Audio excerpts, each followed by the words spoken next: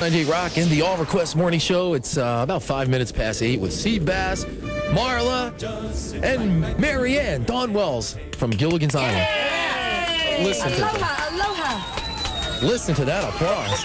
That is amazing. Oh, Goodness. So how you Crowd, doing? crowd. I'm just great. You guys look so cute. I got to tell the audience, they're sitting here in uh, little white sailor hats. Yep.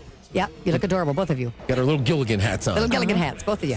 We're crazy. We're out of our minds. So I cooked something, okay, and I wanted to unveil it while you were here. Now, this was supposed to be out of the cookbook. Now, of course, you can get this uh, at at any bookstore, but it's Marianne's Gilligan's Island cookbook. So it was supposed to be simple salmon, okay, but then, however, it became like a combination of something fishy and the skipper baked snapper and the simple salmon and then some other stuff that was in Marla the has kitchen. created her own, and I'm Okay, very so excited now- to see how this is. I just want to see what the look on your face is because this looks nothing like what it's supposed to. So here you go. All right. Ah! Ah! It looks pretty good. Actually, it looks very good. Let me see Well, what you did. it's did. kind of cold. It's like You had green leftovers, peppers yeah. and you had onions. no, you had green onions. Those That's the right. green onion. The four green onions. They made it in there. The- Now you thought you were making the salmon recipe, but you flipped that's the page actually over by accident snapper. and made snapper. yeah. So there are t- two I think you did a great job. and uh, yeah, mm. it actually tastes okay when it was just done. Well, but- no, and coldfish is good. Good sandwich. yeah. I'm gonna sit here and eat some. Do you want some? And uh, Seabass? Seabass, what did you contribute to this morning? Um, Hash breakfast? browns. Hash browns, yes. Made 'em- Packaged and Yeah. put in the toaster. I Whip- can tell. Whipped them in the what toaster. would that recipe be like if it had sea bass in it instead of the no, snapper? they have that. Look at this. There is. That's right. Ginger's well cast sea bass. I saw There that in is, there there. he is. Cook 'em, cook 'em, cook 'em. But you know, really, the, the cookbook is not all tropical. We're sitting here talking about fish all the time. But my mom is 82. My mother and I share the same birthday.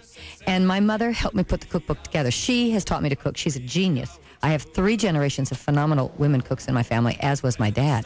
We went through a thousand recipes to get down to the 300 we put in here. 13 Wow. coconut cream pie recipes. All right. How do you say this word? The bolt bossy word. Bouillabaisse. Billionaire bouillabaisse. Okay, I was just wondering because that that was just. Uh, It's a big long word. yeah, I'm like I am not a chef, so that was something totally Yeah. foreign, basically to me. And if you make that, are you bound to swoon a billionaire? I think so. It goes without saying. Dr. Judy's a sex therapist. I know she is. I know she is. cooking and having sex. And a Mhm. good meal uh, is, is not a bad aphrodisiac, is it? It is the perfect aphrodisiac, really, to make the romantic evening. You should be cooking together, picking out the food Yes. together. Yes. Yeah. And you know, when I do a lot of these book signings, I'm amazed how many men buy the book. And and I'll say, are you, are you getting your girlfriend or your wife to cook for you? She no, no, no. I'm the one who does the cooking in the family. Yeah, where That's are pretty these good, men? isn't it? Hook me up, okay? All right, Just come with me tonight. numbers, I'm going to be at uh, I'm going to be at uh, B Dalton's at Tyrone Square tonight between five and seven. Come on and hang out with me, Marla. We'll find one of those cooks. We'll scam. So now you see that we've solved all of Marla's problems. She could cook. She's going to go to the Universal Studios theme park to pick up a guy, find somebody with her her oxytocin cuddle chemicals. Then she's going to make him a great meal. No, no, no, no, no, no. The guy's gonna find me at the bookstore. Then we're going on the rides. He's gonna cook me a great meal. Hey, I like then this. strip down to the tea back and entertain the rest of my friends all night. No, I'm kidding. I'm kidding. I got it halfway right though. So let me ask you something. When the weather, when the weather started getting rough, Do you think we've sort of lost this gentleman? Is this a girl clutch? Coffee talk this morning or what? Great. He's always saying he wants a bunch of women in the studio. Now we've got a bunch of women in the studio. and he's tongue tied. I just want to know if the surf was cranking when the weather started getting rough. Yes, it was. Was it? Yeah, it was. Typical man, you see, their fantasy is to have more than one woman, and then when they're faced with it, they really get overwhelmed and have a very hard time. They get tongue-tied. or a very soft time, Hopefully, as anyway. I'm sorry. I'm sorry. I had to go there, right? Had to go there. Had to go there. take it there. Mm-hmm. We wouldn't know about any of that stuff on Gilligan's Island. We weren't even allowed to show our navel Oh yeah. or I wanted- cleavage I or kiss. We couldn't do any of that. You see. Yeah, I remember in here in the book, there's like a, an autobiographical biography thing, you know, in there too about the belly button thing. And mm-hmm. 2nd of all, there's only three chicks, and one of them's married. And how many guys were there? Four guys, Well, there was the professor, and the skipper Gilligan. too, the skipper, skipper, three guys. too, Three- the three eligible millionaire. and his wife, And his wife. Okay, and then so there's four guys and three women, and one of them's married. two, two of which are married. So Two of which are married. Well, the Howells, are, the Howells are married. I mean, there's two people married. The rest Right. of us are all single. Uh-huh, so now, how does that work all out? Ooh, nothing. We don't bring that up. We don't talk about that. This was pre-Norman Lear. I always say if this was, if Gilligan's Island had been done after Norman Lear, we'd all be in the same hut. It'd be a big commune, and you sort of wouldn't know what was going on. Gilligan's Commune. But we had a real. I mean, we really had the censors. Literally, we could not show the navel. Literally, the kissing could be. If you notice, every time Ginger kissed Gilligan, he knocked himself out, or she was just teaching the professor how to do it, and and it was no uh, no romance at all. It- it's uh, censorship. It's not a bad idea, actually. It's kind of refreshing in this day and age. Well, if you have any questions for Dawn Wells, Marianne from Gilligan's Island, give us a call here at the radio station. We'll put you right through. But first, we need to take a look at traffic with Gilligan Wolfman or something. I don't know. I was going to. Seabass. Uh, we had that one big problem westbound of the Gandy where they My song. Tampa Bay's 98 Rock and the All Request Morning Show. Seabass and Marla. We have Dr. Judy with us. We have Dawn Wells, who, of course, played Marianne on Gilligan's Island. And uh, we were just talking about that commercial that's out. What is it, Budweiser? Budweiser. With uh, who do you like better, Marianne or Ginger? Or Ginger. Marianne wins, and then they say, "Who do you like better, Marianne or Jeannie?" And Jeannie wins.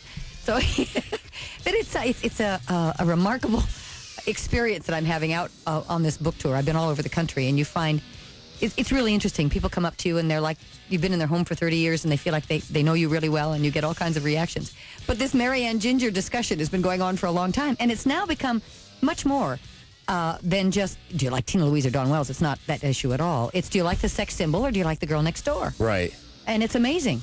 Uh, we're still talking about this.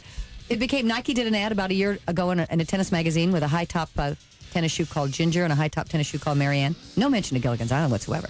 You obviously knew what that meant. And the black tennis shoe at the end said racy and aggressive, and the Marianne tennis shoe said swell and wonderful. And um, it's it's an issue between college girls will come up to me and they'll say, "Okay, first time I go out with a guy, I, I ask them, are you a Ginger kind of guy or are you a Marianne kind of guy?" She said, tells me right away what they're after. Home cooking or a night on the town. Well, you know, I'll tell you what, most guys who have been polled and uh, were asked if they prefer the sex symbol or the girl next door, the ones who chose the girl next door apparently never lived near Marla. Hey, No, I think we should let's take uh, let's take a poll today. Let's take a. We can't see them, so it's okay. That's they can right. say whatever they want. In Hillsborough, 990, Pinellas 572. They both, of course, end with 0098. Or you can call us on that uh, cellular one, pound 98 line. We'll be there for you. Bob Gnarly's going to go grab some phones, and um, we'll come right back with that. Excellent. So Great. It's, it's got to be cool. Gilligan's Island, that was always a fun time. It was a great show, and of course, it's it's still around after all these years. We are the doing well. longest running show in the history of syndication. We have never been off the air since right. 1964. As a matter of fact, Bob Denver told us that. He said it was it's never not been on the air somewhere. No, we are in 30 languages. I have never been any place in this world that I haven't been recognized. I got on an, an airplane coming out of Orlando a couple years ago. The whole plane started to sing the song. Oh God. I was in the Solomon Islands. This is this is just blows my mind. I was in the Solomon Islands with an adventure group from Stephens College. I'm a Stephens graduate. And four, or five of us went with a National Geographic photographer to islands that women had never visited, to pagan islands, to to wonderful primitive little groups of people in the middle of the Pacific Ocean. And we went by canoe, slept on the floor in grass mats, slept in huts. We arrived on the island of Sulafu. All of these war dances were presented to us. We had this big ceremony. When it was over, the chief took me into his hut, and the chief's wife went, I know you. No running water, no electricity. In the middle of the Pacific Ocean, somebody knew a Gilligan's Island character. I mean, it's just unbelievable. It's 30 years. What can you do? That is amazing. Yeah. wow. Yeah. I think we've got Woody here on the line. Is this Woody? Woody. Hey, Marianne, I just wanted to say that, you know, I love you. But I'm not one of those home cooking kind of guys, so uh, I don't think it'd ever work between us. Oh, God, you're right. And I'm just such a good cook. That's all I ever think about. Hey, I just heard your guys' uh, version of the Gilligan's Island deal, and I came up with one of my own. Oh, you did? Yeah, you guys want to hear it? Yeah, I guess. Go ahead. Let her rip. Hang on. Just sit right back and you'll hear a tale, a tale of a morning show that started in St. Petersburg where the Gulf Stream winds do blow. One DJ is a surfer boy, his partner a biker chick. They hardly ever get along, but boy, they do the trick. Boy, they do the trick. The ratings went right through the roof. Their competition split. The boss man knew he had it made with a surefire hit. A surefire hit. Their waves just won't be the same. Each morning it starts off with sea bass and marla too. Wolfman's there with Al Keck. Big as well. Patrick and the gnarly man here on the All Morning Show. That's great. Isn't that great? That's wonderful. Wonderful. Woody, you may have too much free time on your hands, bud. You know it, man. Uh, Is that available on CD? yeah, well, you know, we're, we're just cutting the demos now, so we're doing a promotional run. But uh, hopefully we'll get enough funding to uh, go for the CDs. That was pretty good there, Woodster. That was like good. that? Yeah, that was good. Very nice. That was good. We didn't even preview that in advance. We just put them right on the air because that's the kind of show we do. You guys, I love you. All right, Woody, hang on, man. I'll tell you what. Let us get back with you a little bit later, okay? All right. All right, we- we're gonna want to uh, have you to do that again. That was pretty cool. The Woodster. I liked it. That was great. All right, what do you say we take a look at traffic here with the Wolfman and see what's going on out there? Well, just 0835. Don't miss it. Woo, 27 minutes past 8 at 98 Rock's All Quest Morning Show. It's a Friday morning, and if you would like to meet Dawn Wells from Gilligan's Island, today she's going to be at Dalton's at the uh, Tyrone Square, right? Five to seven tonight, 5 to 7, so you have the opportunity, a once-in-a-lifetime opportunity. and Walden's tomorrow at uh, Clearwater Mall. That's right. From so two to four. Can't make it today, can make it tomorrow. And uh, we'll fill you in on that in just a couple of minutes. If you need more info, give us a call here at the radio station. Or if you'd like to talk to Marianne, by all means, give us a call here at 98 Rock. And while you do that, here's bad boy Billy Squier. Pure rock and roll for Tampa Bay. Oh, yes, Tampa Bay's 98 Rock, the All Request Morning Show, Seabass and Marla.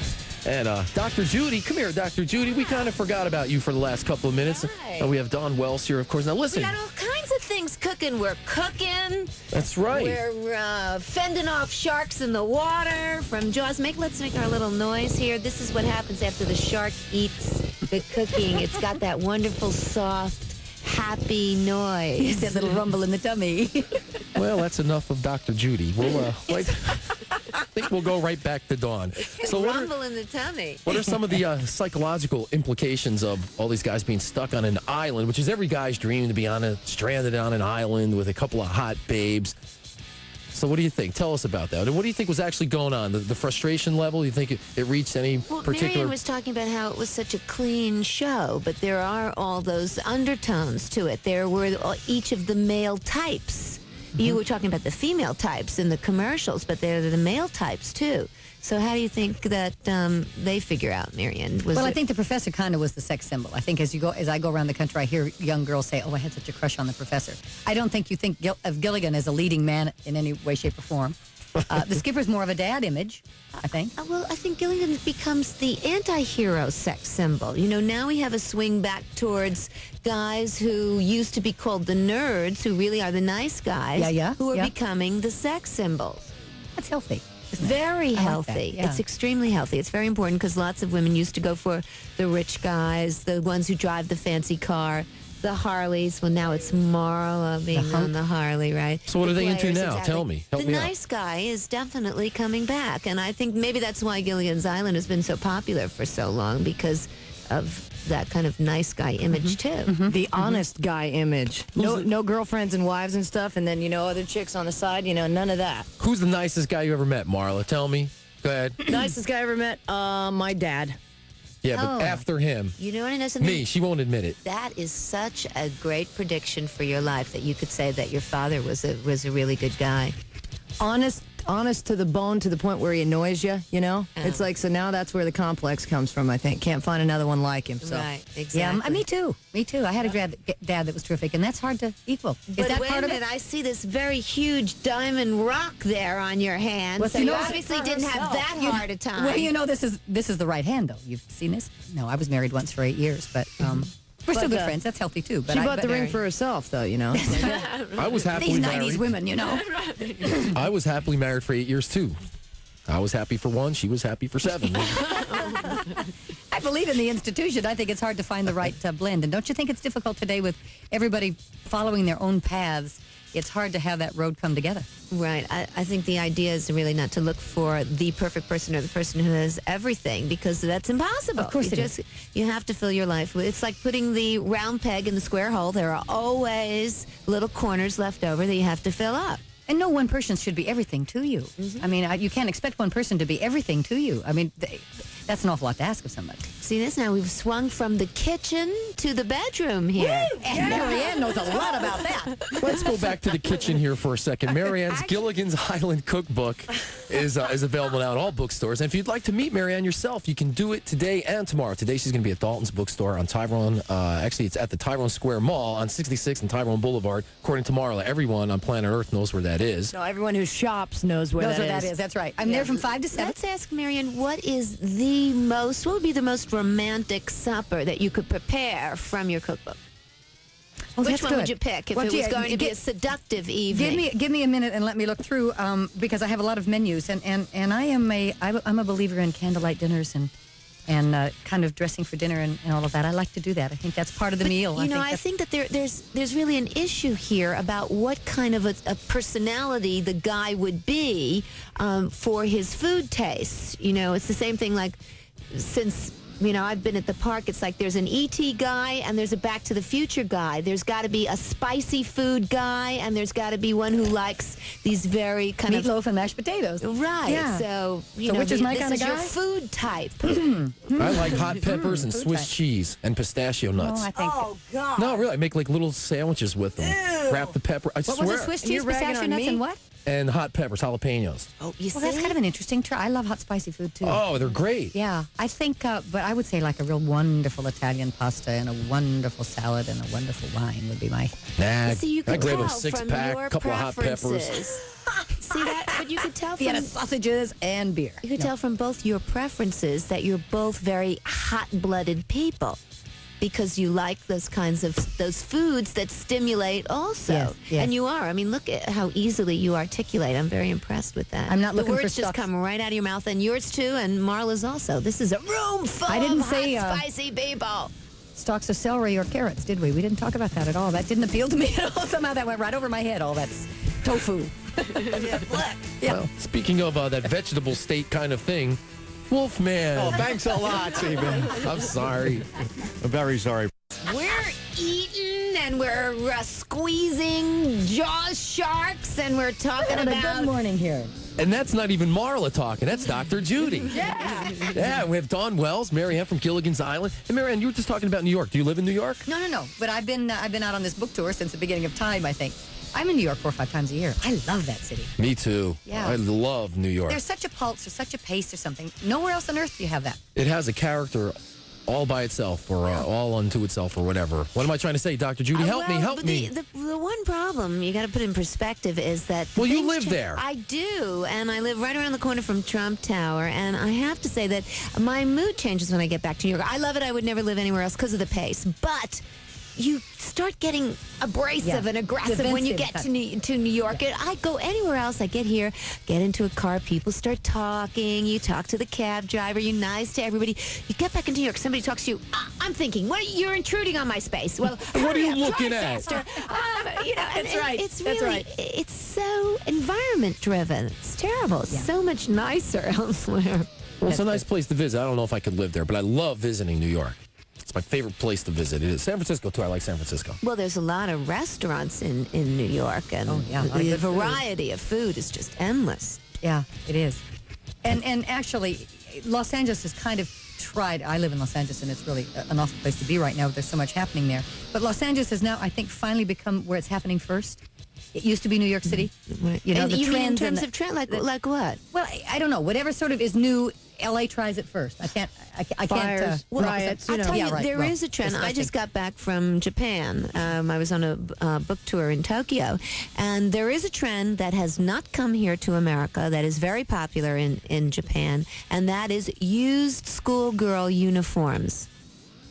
Used for? schoolgirl uniforms. do uniform. they use them for? men or Yes. For adult men. Oh, we could get a little import-export business going here, guys. Now you know. Now I was just saying the other day we're now exporting uh, lingerie over to Japan, so maybe we can balance out this car thing that we've got going on. That's right. You know, so we'll just send them a lot of underwear. They send us some cars. We exchange parts. It's very hip happening. We have to make them a little smaller, but other than that, it's cool. You know. And speaking of cars, before it gets any later, we need to find out what's happening in traffic. One final time here with the Wolfman. Thank you, Seabass. Uh, still. Yeah, you are. Thank you, Big Al. It's exactly 9 o'clock at WXTB, Clearwater, Tampa, St. Petersburg. The All Request Morning Show. We are having a big party, and uh, Dawn Wells is with us. And I, I know you got to get going here, Dawn. Yeah, I've been, I've been whipping up a coconut cream pie for you, and, and it's not quite ready. So I, I'm going to have to bow out of here and check the oven in a minute. and you got to meet Dawn. Don't miss this opportunity. She's in town. is really special. Yeah, she's in town for a couple the of best days. time. I've had the best time. It's, Dr. um, Judy, I'm going to get your home phone number. I got a few questions to ask you when I get home okay. that I don't want the audience to know about. Marla and Seabass, I'm going to take you on the island with me. You'll make my life much better, I'm sure. Well, You you, guys made our show better. We had a great time with you today, Dawn. Fabulous, guys. It was fun, and and and uh, I, I admire what you do, both of you. You're terrific. We're going to stop by today. We'll see you at Dalton's Bookstore on Tyrone at the uh, Tyrone Square Mall between 5 and 7. And then tomorrow at the Clearwater Mall, Dawn will be there at the Walden Bookstore between 2 and 4, which is right at the street where I live. So I'll definitely come by and, And, and let me just say again that if you can't get by tonight, you can call in a charge card and you can have the book ordered, and, and I'll sign it for you specifically. Five to 7 is a little tough time. People come home from work, you know. Be Yeah. great to stop by. Marianne's Gilligan's Island Cookbook with and the it's not all recipes, is it? I mean, there's a lot. No. Of, if you're not a cook, there's a lot of uh, wonderful pictures and a lot of fun stories and anecdotes and synopsis of the show and stuff too. So It is a lot of fun. As a matter of fact, we have a couple copies to give out, some autographed copies to give out this morning. So if you behave yourself and you pay attention, we might even give you one, okay? So thanks so attention. much for having me, you guys. Dawn, the pleasure was ours. Definitely. Bye. Oh, well. I'll never watch Gilligan's Island the same again, I'll tell you. Shark is psyched. Great. All right. Where Thanks a lot, Dawn. Oh, here or there? Some Diamond David Lee on 98 Rock.